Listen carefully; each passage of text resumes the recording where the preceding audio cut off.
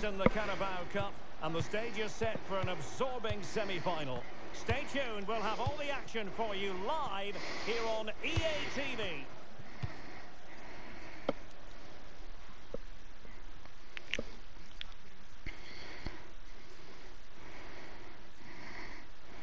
And a warm welcome. This is the scene here at the Etihad Stadium.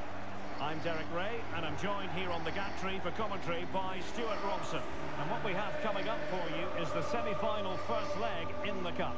It is Manchester City